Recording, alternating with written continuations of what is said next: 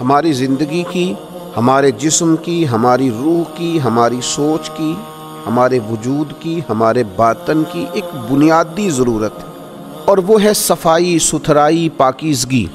नफासत जहाँ भी पैदा होती है ना, वो खूबसूरती ही लाती है। सफ़ाई, सुथराई जहाँ भी आती है, वहाँ हुस्न पैदा करती है।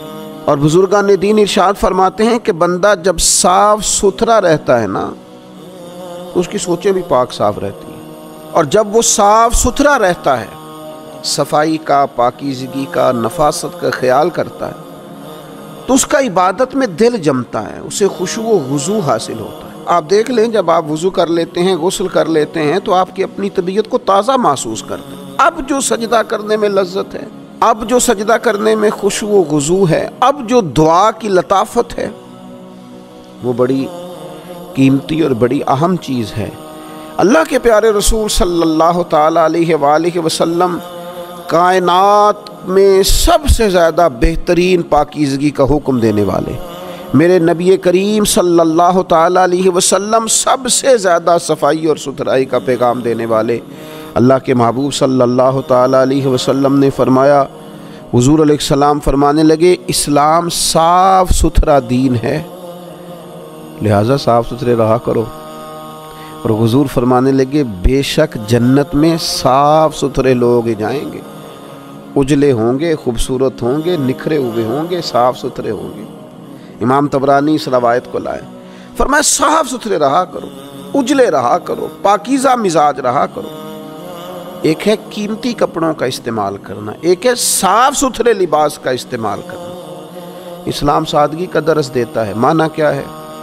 कि आप कम कीमत लिबास भी इस्तेमाल कर लें, आप ज़मीन पर बैठ जाएँ, सादा गज़ा खा लें, लेकिन सफ़ाई की बात करता है, सुथराई की बात करता है, पाकिजगी आपके कपड़े सादा हो पर साफ़ सुथरे हों, आपकी गज़ा सादा हो पर साफ़ सुथरी हो, आपकी नशिस्त सादा हो पर साफ़ सुथरी हो।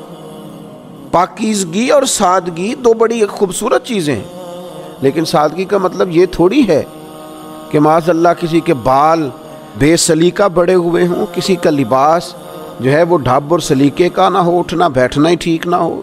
नशिश तो बर्खास्त में वो ये सादगी नहीं है, ये तो नादानी है। लिहाजा इस्लाम सफ़ाई की बात करता है, सादगी की बात करता है। अपने माहौल को साफ़ रखें, अपने मिजाज, आज देखिए कैसे माहौलियाती आलूदगी की बात की जाती है। आप गौर फरमाएँ कि जब ये कहा जाता है कि पंजाब में या फ़लाँ फलां जगह पर आलूदगी के मसाइल हैं सफ़ाई सुथराई का मसला है। तो क्या ये सवालिया निशान नहीं है कि हमारे मिजाजों को कितना साफ़ सुथरा होना चाहिए था? और जहाँ मुसलमान रहते हों, जहाँ वो लोग रहते हों जो रसूल रहमत सलाम के ग़ुलाम हैं तो वहाँ तो सोचें तक साफ़ होती वहाँ तो नज़रियात तक बड़े उजले होते हैं तो जहाँ इतने उजले लोग रहते हों, वहाँ माहौल भी तो उजला होना चाहिए। तो बजाय इसके कि हम अपनी कमज़ोरियाँ दूसरों पर डालें, कभी किसी की गलती ढूंढते फिरें, कभी किसी का कसूर ढूंढते फिरें तो एक एक फ़र्द से शुरू किया जाए। एक एक आदमी वो महसूस करे कि मुझे किसी जगह कचरा नहीं फेंकना, मुझे किसी जगह गलाजत नहीं फेंकनी, मुझे अपने माहौल में पाकिजगी लानी है, इसको स्टार्ट करें। एक एक शख्स के अमल करने से इनकलाब आता है, एक एक शख्स के एहतियात करने से लोग सीखते हैं। अल्लाह ताला हमें समझने की तोफ़ी अता फरमा